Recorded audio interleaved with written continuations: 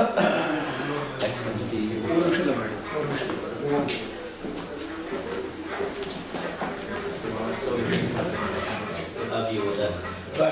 was. I was looking forward uh. Thank you very much. Thank you very much for the support we are getting from India since uh, the days, early days of the revolution. For the efforts also Swami is carrying with us. Yeah.